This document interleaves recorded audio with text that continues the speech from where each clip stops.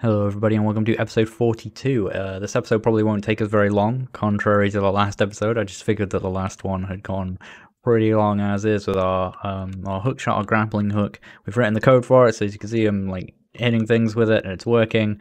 Um, it's just invisible at the moment. We don't actually draw any of it to the screen. Um, so that's what we're going to fix in today's episode. Relatively straightforward to do so, but um, as I said, the last episode had gotten kind of long enough. Uh, if you skipped the last episode because you weren't interested in the grappling hook, it was a bit too specific or whatever, that's fair enough. You can skip this one as well, and then we'll be back to more uh, generic stuff. All right. So, assuming you brought in the sprites that we needed at the uh, start of the last episode, um, that is uh, S hook blade and uh, S hook chain. Um, you have pretty much everything you need. Okay, so make sure again that the origins are in the middle of those two sprites. Um, the hook chain is going to make up like every segment of chain. Um, so we're going to draw this on repeat for however long the chain is, and then we're going to draw the blade at the end of it, okay? And we're pretty much going to do all of it um, in the draw event of O player, okay? So get go to O player, go to the draw event, this is where we're going to be doing all our work today. The first thing I'm going to do is going to come to the very bottom of uh, this draw event, and I'm going to actually declare a function. I'm going to write function draw hook chain. And that's right, you can declare functions outside of scripts. Um, you can declare them pretty much wherever you want, um, but it does affect what that function, um, it affects the scope of that function. So by declaring this function here instead of in one of our scripts, uh, it becomes uh, it local to uh, every instance of O player. That is to say, we won't be able to call this function from anywhere except an instance of O player. All right, because we've declared it inside O player.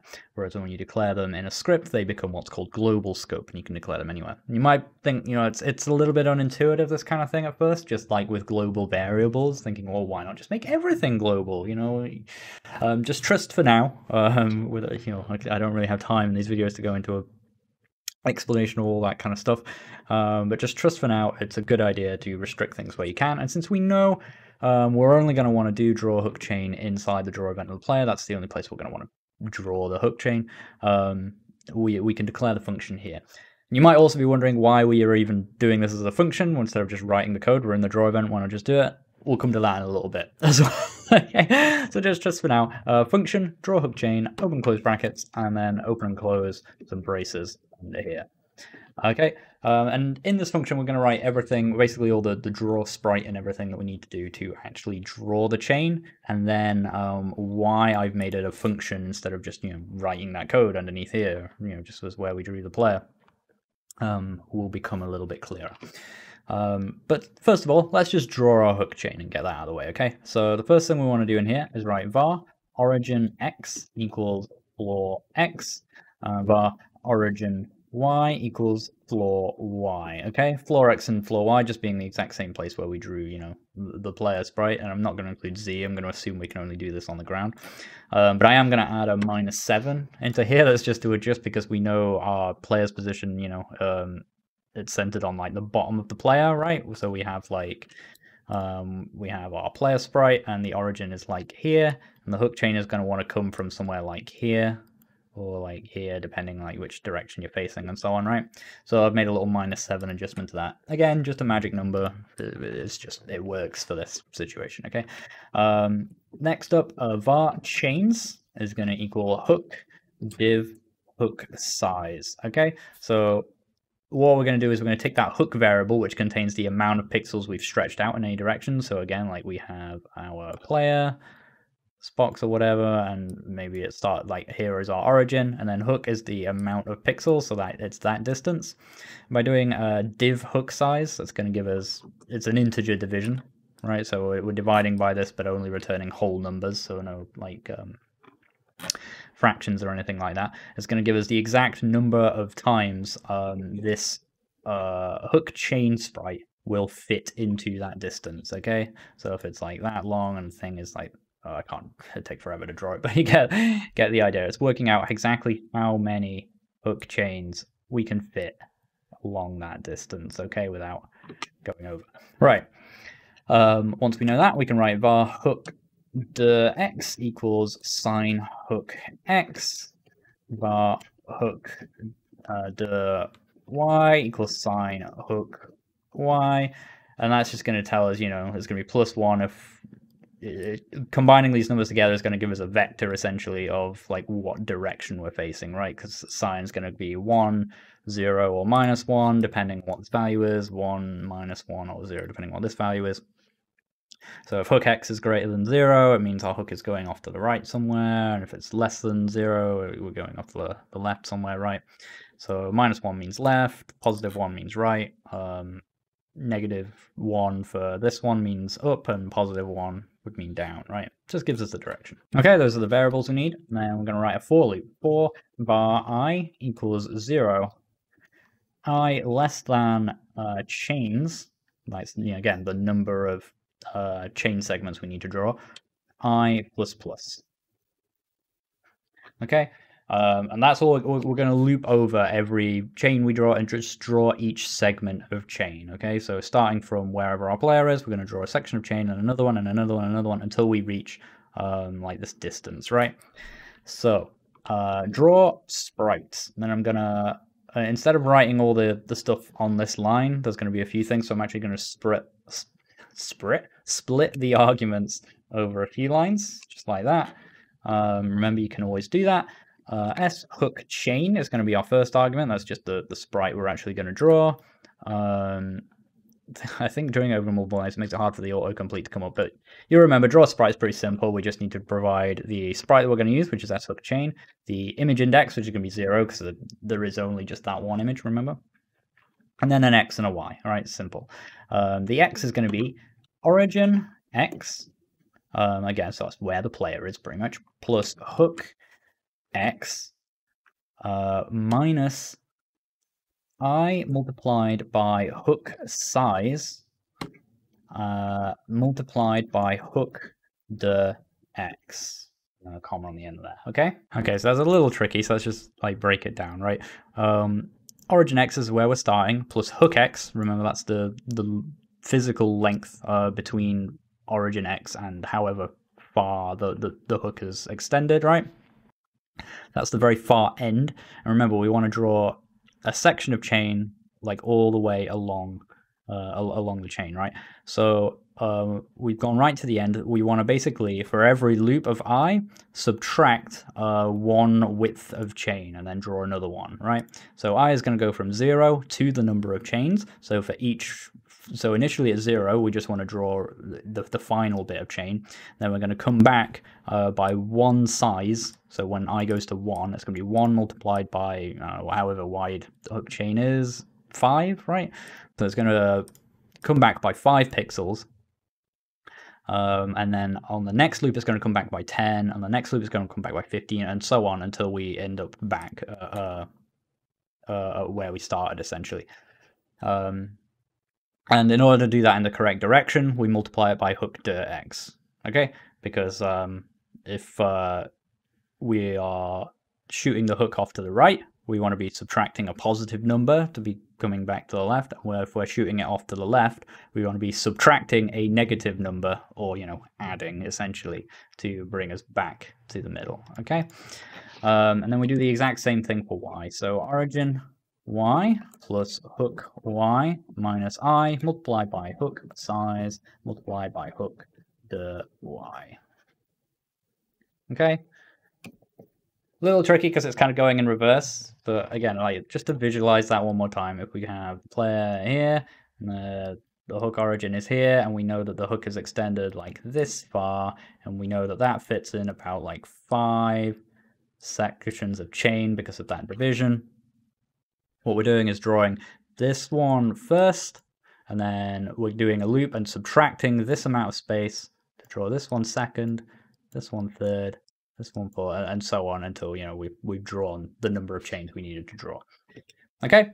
Um, so after we've done that for loop, um, all we need to do then is uh, draw the blade at the end. Now, in my original script, I kind of overthought this next section and we recalculated the angle um, which you can do, and you might need to do if, say, I don't know, you have a more complicated um, uh, animation for the player that's like, you know, uh, actually performing an animation. But since this is, you know, four frames long and our image index is giving us our direction between 0 and 3, we can actually just use that to decide uh, which one of these we need to uh, draw. Okay, so again, back in this draw event, all I'm going to do is write draw sprite s hook blade, um, uh, and the frame is going to just be image index. Okay, I, I went to write from my script there underscore frame because I did a thing to recalculate it originally. But as I say, we don't need to do that.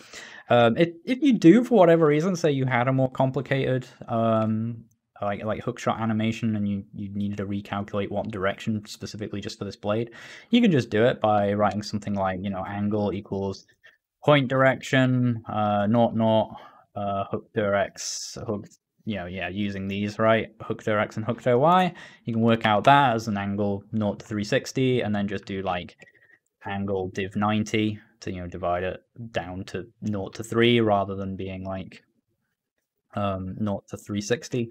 But we have image index, so we don't need to waste the time doing that. So we're just going to do image index. Um, and then where we're going to draw it is simply going to be wherever our origin is. So origin x plus hook x. Okay.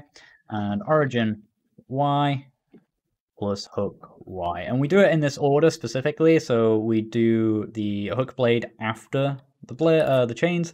So like uh, we guarantee that the blade gets drawn on top of the chain, right? And drawing things on top of one another and under one another is the exact reason we've done this as a function. It's a handy segue. Um, so I can I can actually minimize that now if we want.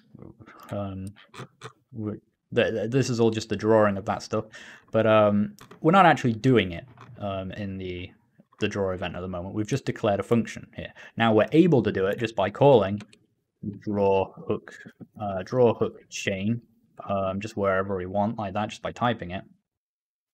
Um, so why did I bother to do it as a function? That's because we actually need to do it twice, okay? Um, because we're drawing the player, uh, and then we want to draw the um, we, we want to draw the hook shot, but depending what direction we're facing, um, that will decide whether or not we want to draw the um, the grappling hook before or after the player. And because you know it's code and code only runs sequentially, like one thing after the next, um, uh, the only other way to do it would be to like write all the code to draw uh, the hookshot before drawing the player and then write all that code again after the player.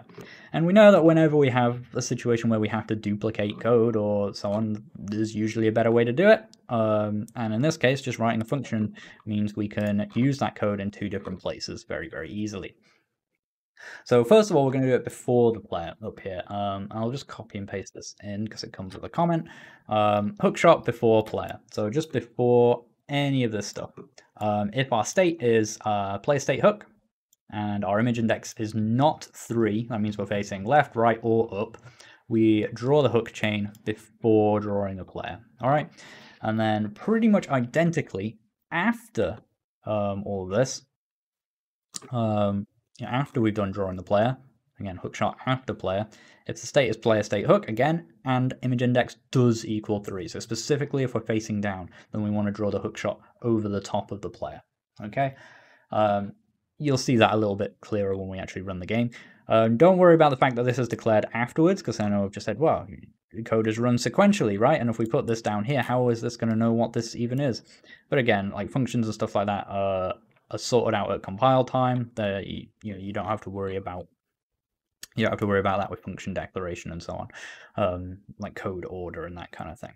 Um, just as the same as with macros and so on, it doesn't matter where you put these. Um, the, the, the, same is mostly true for these. Um, other than declaring their scope, like by doing it in this event, we've localized it to um, the player object and made it non-global, but otherwise it doesn't matter what whereabouts in this uh, chunk of code we actually put it. So I'll put it at the end there just as an organizational thing so we can check that out when we need to. All right, so I can go ahead and run this now. Um, apparently we're still running it from before, but let's press F5, run this again, swap to the hookshot, and when I fire it, you can see now it's drawing. Okay, um, let me uh, just uh, zoom in here a little bit so we can see nice and clear.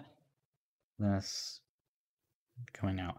Um, so you can just, you see what I mean. Like it's drawing behind the player currently because it's one of those directions. If I turn around here, it's still drawing behind the player and you can kind of see it sometimes a little bit just coming out from behind. Like you can see it just sort of underlapping um, the edge of the kind of purple gun thing it's coming out of, right?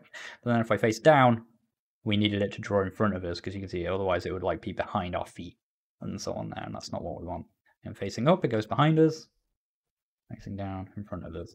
It's, it's pretty simple, you know, it's just using a, a, little bit of quick maths and a loop to just draw multiple of these um, um, hook chains uh, segments over and over up to the maximum number we need, and then just drawing the blade over the top at the end there so it all looks nice and clean. All right, simple stuff. I uh, hope you enjoyed that one. Uh, sorry if these last two episodes were like a, lot of work for something like really, really specific. But again, I thought it was useful to show you how to do like an interesting, super specific mechanic um, on top of this kind of like foundation of code. All right. Um, Thanks for watching, hope you enjoyed that one, I'll catch you all next time. A huge shout out in particular, and in no particular order, to the following patrons. Max M, Raildor, Bowser the Dog, Jonathan, James Grumley, Robert Churches, Daka Dondigo, T, Relentless Rex, Jason, Dark Rider 0318, Rupinder, Rennie Dam, Samian Yalegaglow, Yoram Pater, Cabbage Pants, Figgy, Kaiser Ho, Reva, Vapalion, Andrew Gilbert, Jason Welch, Phil Keen, Odd Spiral, Jordan Haig, Feral Princess, Arctics, Rachel Stewart, It's Matt Poor, Philip Sheard, Stephen Chenier, John Kenai, Michael Kolich, Julian Cropley, Gage Hunter, Elizabeth and Landon Brown, Tranquil, Jake Crumsey, Darth Wolf, Isaac Miller, Eric Santana, Adrian.exe, Josh Verben, JD O'Deer, Jiminy Timothy Hare, Elijah Kang, Blunt BSE, Troy Niles, Zadrian, Magellan, Daniel Blatt, Severus, Sal Thief, Blenny Savant, and Folkwood. Thank you all so much and thank you for watching. I'll catch you all next time.